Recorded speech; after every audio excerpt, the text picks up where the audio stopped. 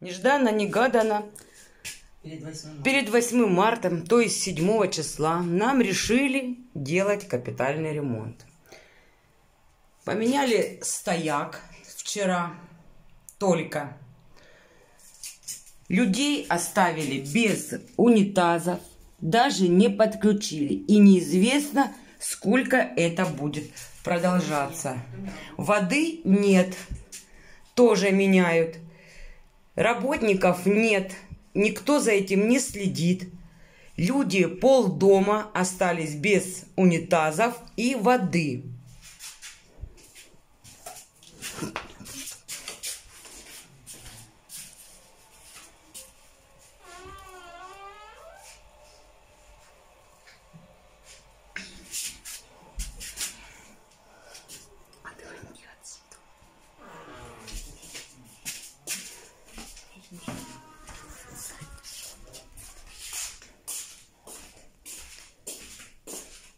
Воду даже еще не подсоединяли.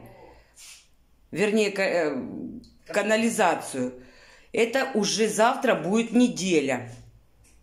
Кому что говорить, э, телефоны не, не поднимают. И сколько нам еще это все терпеть?